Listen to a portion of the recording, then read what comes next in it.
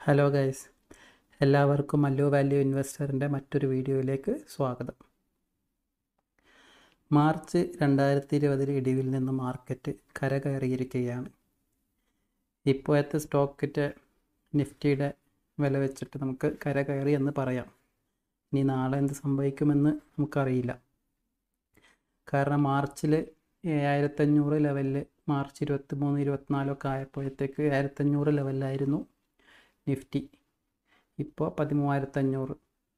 അങ്ങനെ നോക്കുമ്പോൾ ഏകദേശം എൺപത് ശതമാനത്തോളം മാർക്കറ്റ് ഇപ്പോൾ കയറിയിട്ടുണ്ട് അതായത് മാർച്ച് അവസാനത്തിൽ പതിനായിരം രൂപ ഇൻവെസ്റ്റ് ചെയ്തവർക്ക് ഇപ്പോൾ അത് പതിനേഴായിരം രൂപ ആയി കാണും. അല്ലെങ്കിൽ പതിനെട്ടായിരം രൂപ. സെവന്റി പെർസെന്റേജ് തന്നെ എടുക്കുകയാണെങ്കിൽ പതിനേഴായിരം രൂപ.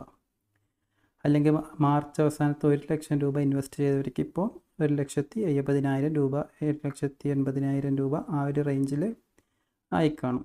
ഇത് ഇൻഡെക്സിന്റെ കാര്യമാണ് നിഫ്റ്റി ഇൻഡെക്സ്. ഇനി ഇൻഡിവിജ്വൽ സ്റ്റോക്കുകൾ സെലക്ട് ചെയ്ത് അതിൽ ഇൻവെസ്റ്റ് ചെയ്തവർക്ക് അതിനേക്കാൾ കൂടുതൽ കിട്ടിക്കാണും. കാരണം നല്ല നല്ല ചില സ്റ്റോക്കുകൾ നൂറ് ശതമാനത്തിന് മുകളിൽ വരെ റിട്ടേൺ തന്നിട്ടുണ്ട്. ഈ ഒരു കാലയളവിൽ. ഈ ഒരു കാലയളവ് എന്ന് പറയുമ്പോൾ അധികം ഇല്ല ഒരു വർഷം കൂടിയില്ല. എട്ട് ഒമ്പത് മാസത്തിനിടക്കാണ് ഇതൊക്കെ നടന്നിട്ടുണ്ട്. Bajaj finance Bajaj Finserv IndiaMART തുടങ്ങിയവ ചില ഉദാഹരണങ്ങൾ മാത്രം. ഈ ലോക്ക്ഡൗൺ കാലത്ത് ഇൻവെസ്റ്റ്മെന്റ് യാത്ര തുടങ്ങിയവർ തുടങ്ങിയവരാണ് നമ്മളിൽ പലരും. കാരണം ഒരു സ്റ്റോക്ക് ബ്രോക്കറിന്റെ ഡേറ്റ അനുസരിച്ച് മാർച്ച് ഏപ്രിൽ മാസങ്ങളിൽ record number of account opening ആണ് അവർക്ക് വന്നിട്ടുള്ളത്. അപ്പോൾ ഈ ഒരു ലോക്ക്ഡൗൺ കാലത്ത് ഇൻവെസ്റ്റ്മെന്റ് യാത്ര തുടങ്ങിയ പലർക്കും നല്ല റിട്ടേൺ കിട്ടിക്കാണാനാണ് ചാൻസ് കാരണം മാർച്ച് ഏപ്രിൽ സമയത്ത് മിക്ക സ്റ്റോക്കുകളും അത്രയും ചീപ്പായിരുന്നു. ഇനി ഇതിലൊന്നും പെടാത്തവരാണോ നിങ്ങൾ? നിഫ്റ്റിയുടെ അത്ര ലാഭം കൂടി നിങ്ങളുടെ പോർട്ട്ഫോളിയോ തന്നിട്ടില്ലേ? ഒട്ടും സങ്കടപ്പെടേണ്ട.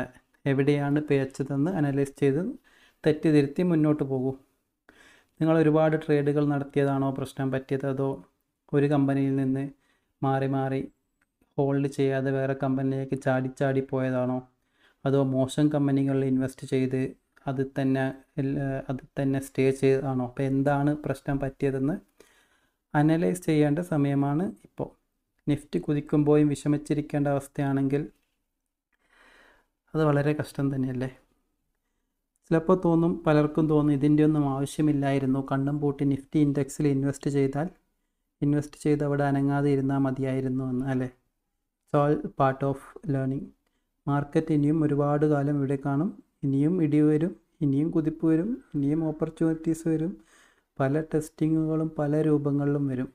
അപ്പോൾ എല്ലാവർക്കും ഇനിയും അവസരം കിട്ടും.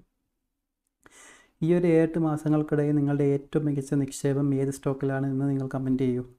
ഈ ഒരു കാലയളവിൽ എനിക്ക് ഏറ്റവും റിട്ടേൺ തന്ന സ്റ്റോക്ക് ബജാജ് ഫിൻസർവ് ആണ്. ഞാൻ എന്തുകൊണ്ട് ബജാജ് ഫിനാൻസ് വാങ്ങാതെ ബജാജ് ഫിൻസർവ് വാങ്ങിയെന്ന് അടുത്ത വീഡിയോയിൽ പറയാം.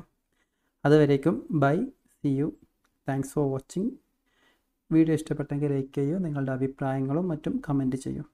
Bye bye